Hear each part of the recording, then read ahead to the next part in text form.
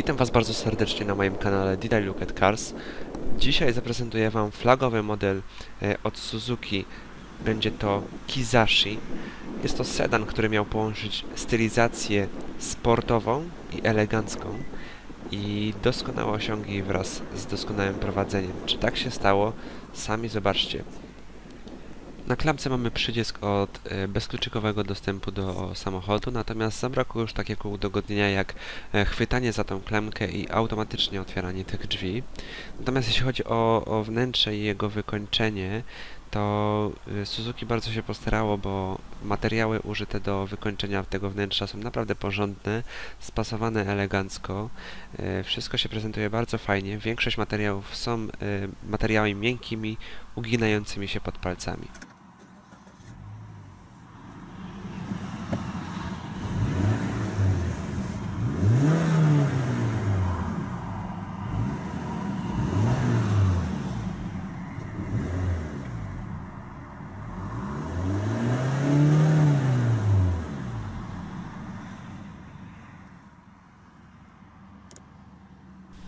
Standardowo włączyłem światła mijania, światła przeciwmgłowe, a teraz światła awaryjne po to, żeby je Wam zaprezentować z zewnątrz. Yy, natomiast teraz otwieramy jedną z czterech regulowanych elektrycznie szyb. Później pokażę Wam jeszcze jak one działają, bo mają taki charakterystyczny yy, tryb yy, spowalniania przy, przy domykaniu się. Jeśli chodzi o światła w Kizashi, to mamy tutaj reflektory ksenonowe ze spryskiwaczami, których działanie zaprezentuję Wam później, a także lampy przeciwmgłowe przednie. Jeśli chodzi o reflektory, to są one wyposażone w dwa systemy. Y, system automatycznego ich włączania, a także system automatycznej regulacji wysokości świecenia tych y, reflektorów. Sportowe aluminiowe obręcze kół od Suzuki, elektrycznie składane i regulowane lusterka. Posiadają one również funkcję podgrzewania. Szyby tylne są przyciemniane, co sami widzicie bardzo fajnie się y, komponuje z tą białą, białym kolorem karoserii. Natomiast już niezbyt fajnie komponuje się na tej karoserii brud, który uzbierał nam się już po kilkuset metrach przejechanych od myjni. Za to przepraszam oczywiście, ale fajne są na przykład y, wykończone te y, końcówki wydechu. Także ogólny design tego samochodu naprawdę na plus. Jest taki sportowy, taki sportowy y, w stylu, w stylu japońskim. Tutaj mamy ten taki też w stylu japońskim napis Kizashi.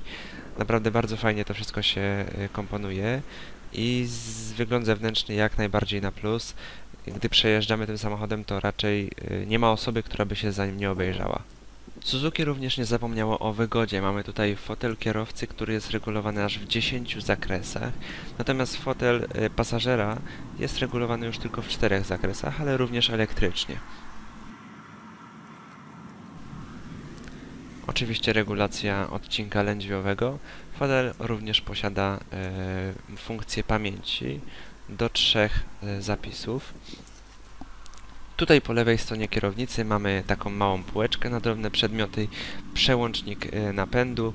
E, domyślnie jest on ustawiony na wszystkie koła, natomiast możemy sobie włączyć napęd na jedną oś, wtedy na pewno spadnie nam spalanie i na dłuższej trasie myślę, że jest to wskazane. Mamy również przycisk czujników parkowania, przycisk ESP, włącznik świateł przeciwmgielnych, a także, tak jak chciałem Wam zaprezentować, e, przycisk służący do włączenia reflektorów, e, reflektorów, spryskiwaczy reflektorów.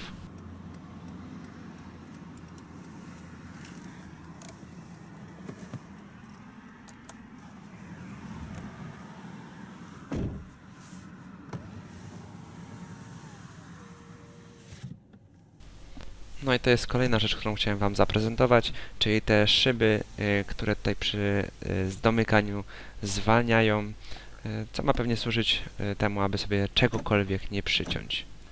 W tym miejscu oczywiście mamy możliwość zablokowania drzwi oraz okien, a także złożenia lusterek oraz ich regulacji za pomocą joysticka.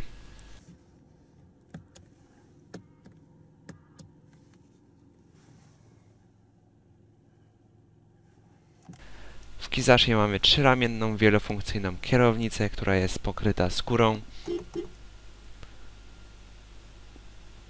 a na niej oczywiście przyciski do e, zarządzania audio, e, rozmową telefoniczną za pośrednictwem Bluetooth, a także tempomatem i e, obsługą komputera pokładowego. Za kierownicą natomiast znajdują się łopatki do zmiany biegów.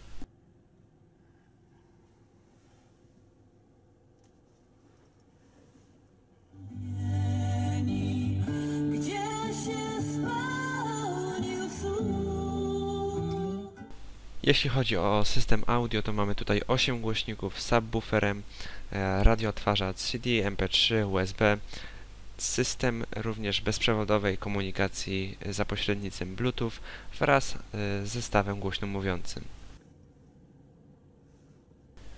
Jeśli chodzi o klimatyzację, to jest ona automatyczna, dwustrefowa i jak przystało na porządną limuzynę, mamy również nawiewy wentylacyjne z tyłu. Jak Wam się podoba panel środkowy? Bo mi konsola środkowa się jak najbardziej podoba. E, Co prawda nie mamy tutaj wyświetlacza dotykowego o nie wiadomo jakiej przekątnej, ale wszystko jest bardzo elegancko spasowane. Materiały użyte są e, bardzo fajne w kontakcie e, z palcem, delikatne, dlatego jak najbardziej na plus. Tutaj na panelu środkowym mamy również możliwość sterowania trzystopniowym podgrzewaniem foteli przednich.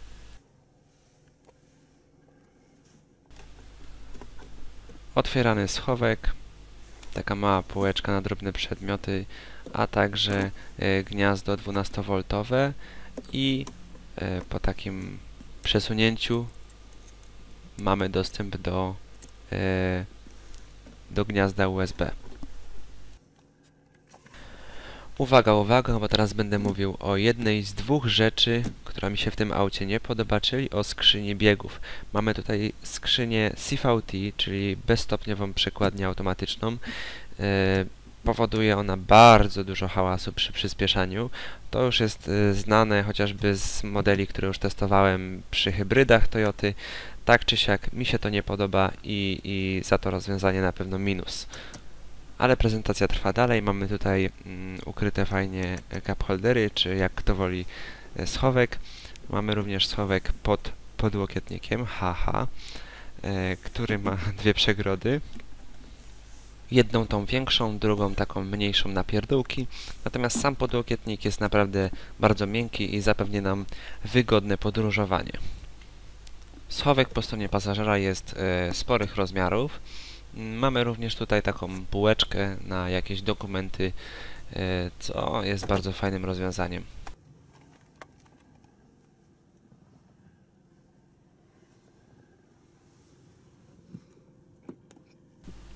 Osłonka przeciwsłoneczna jak przystało na porządne auto e, z lusterkiem i oświetleniem. Wewnętrzne lusterko elektrochromatyczne. Może podczas tego, jak będę prezentował oświetlenie samochodu, to od razu Wam powiem, co to jest to elektrochromatyczne lusterko. E, To jest po prostu lusterko, które automatycznie nam się będzie przyciemniać.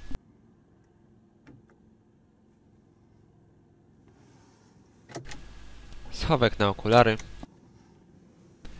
Manualnie odsuwając roletę mamy dostęp do okna dachowego, które jest elektrycznie otwierane i uchylane.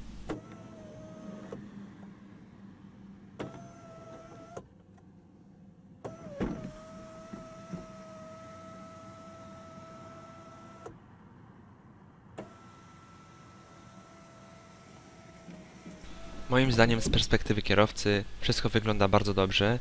Wnętrze e, wykończone elegancko przy jednoczesnym e, bardzo dobrym spasowaniu wszystkich elementów.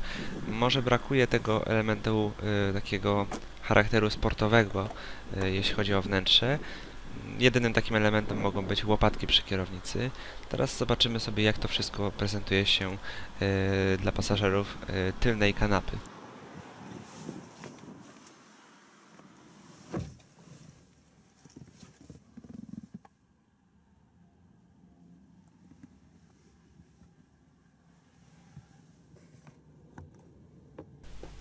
Jeśli chodzi o standard wykończenia, to z tyłu trzyma on odpowiedni poziom, wszystko jest jak najbardziej również dobrze spasowane, miękkie materiały uginające się pod palcem. E, W przednich fotelach mamy oczywiście kieszenie, natomiast miejsca dla pasażerów jest e, jak najbardziej pod dostatkiem. No i z tyłu, tak jak już wcześniej wspomniałem, mamy również e, tylne nawiewy wentylacyjne.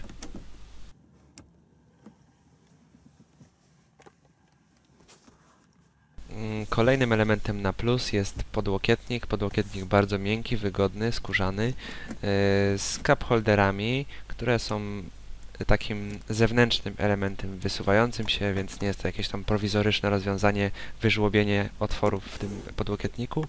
No i mamy również otwór na narty, który y, pozwoli nam przewieźć jakieś y, właśnie narty czy dłuższe przedmioty. A teraz przejdziemy zobaczyć, ile przestrzeni bagażowej oferuje nam flagowy model Suzuki.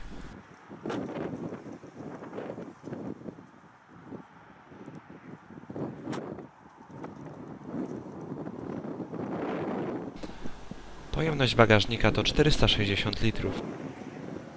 Ze względów praktycznych ładniej prezentujące się dywaniki zostały przeniesione do bagażnika. Na minus na pewno jest to, że zawiasy od klapy bagażnika niestety e, nie są ukryte i przy domykaniu e, klapy bagażnika będziemy mieć tutaj jakąś ewentualną, e, jakieś ewentualne zgrzyty z bagażem. Mm, Natomiast pod podłogą znajdziemy zestaw naprawczy i takie małe schoweczki na jakieś pierdółki.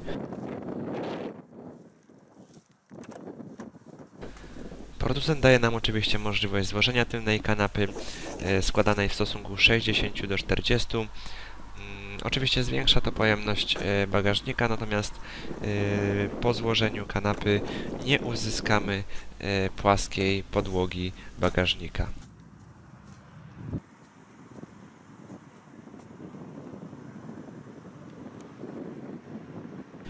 Przejdźmy sobie teraz do wlewu paliwa i opowiem nieco o drugim z dwóch potężnym minusie modelu Kizashi, czyli powiem o spalaniu. E, W cyklu miejskim, bo w takim się poruszałem tym modelem, e, to mm, auto zużywa według producenta 11,3 litra na 100 km. No i niestety ten wynik jak najbardziej trzeba potwierdzić. Myślę, że nawet można go e, o, te, o ten litr czy półtorej jeszcze podnieść do góry zwłaszcza, że jeździłem dość agresywnie. Także jak na takiego sedana, który waży 1,5 tony, to dla mnie zdecydowanie za dużo. Aby zobaczyć i posłuchać, co takiego spragnionego jest pod tą maską, odpaliłem silnik, otworzyłem maskę i teraz przejdziemy zobaczyć, co tam takiego jest.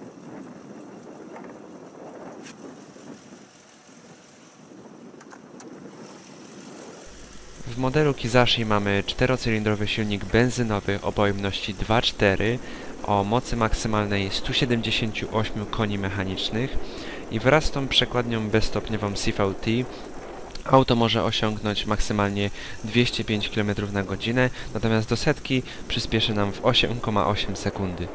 Bardzo Wam dziękuję za obejrzenie tego odcinka. Zapraszam do innych moich odcinków, do subskrybowania mojego kanału.